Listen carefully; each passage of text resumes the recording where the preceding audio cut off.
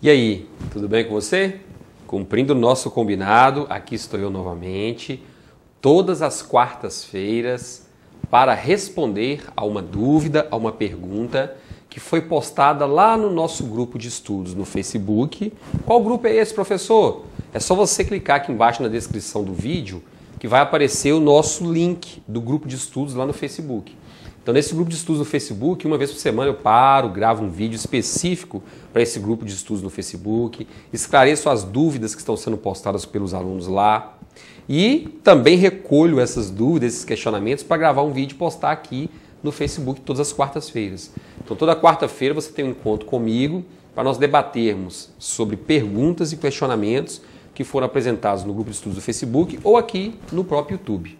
Combinado?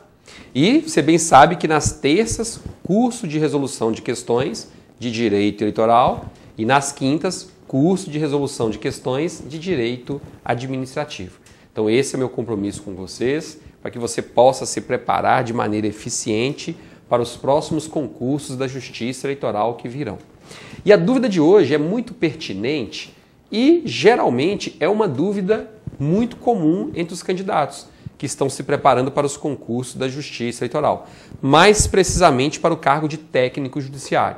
Vamos dar uma olhadinha nessa dúvida? Vamos lá. Ó, essa pergunta foi elaborada pelo Márcio Santos. Ele está perguntando o seguinte: professor, bom dia. Uma dúvida quanto aos cargos de nível médio, no âmbito do Poder Judiciário da União, que inclui os TRS. Se uma pessoa assume como técnico da área administrativa e vai para um cartório eleitoral, por exemplo, mas ela possui uma graduação e pós-graduação, o salário dela sofre alterações ou só é beneficiário de gratificações por titulação os cargos de nível superior?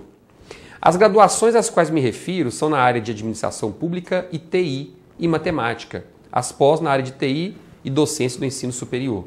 Procurei na internet, mas infelizmente não achei nada relacionado especificamente com o tema. Poderia esclarecer mais essa dúvida? Claro, Márcio. Então não precisa procurar mais, que agora você vai esclarecer as suas dúvidas.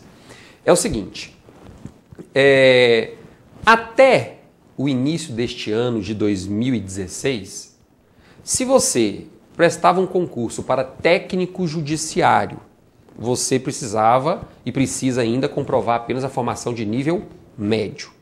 Só que na maioria das vezes, o cidadão já tinha o nível médio e ainda tinha uma graduação, ainda tinha uma pós-graduação e assim vai. Então isso era muito comum e é muito comum ainda.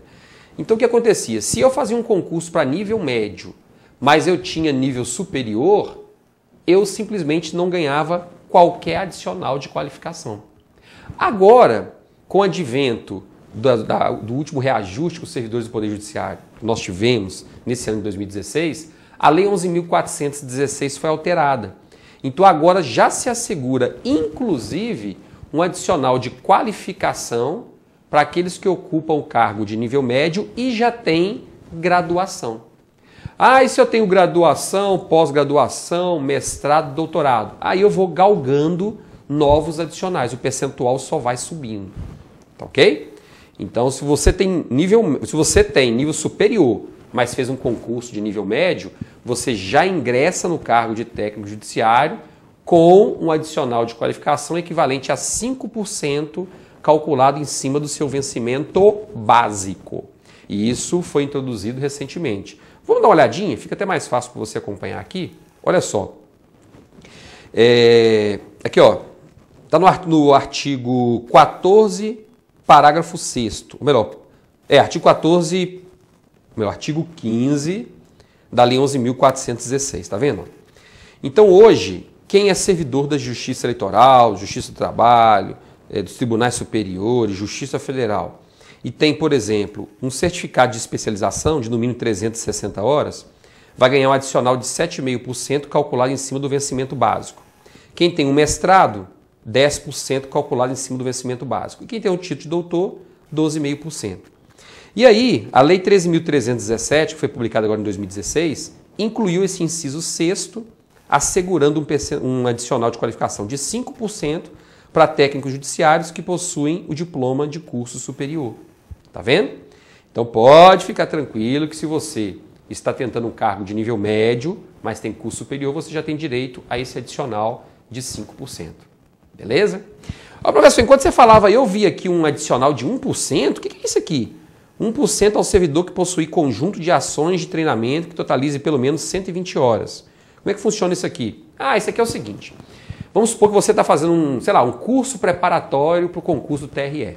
O que, que você vai fazer? Aí você vai solicitar um certificado de que você concluiu, por exemplo, um curso de direito eleitoral de 200 horas. Um exemplo, tá? 200 horas. Que você concluiu um curso de direito administrativo de mais 200 horas. E com, concluiu um curso de direito constitucional de mais 200 horas. Tá vendo aí?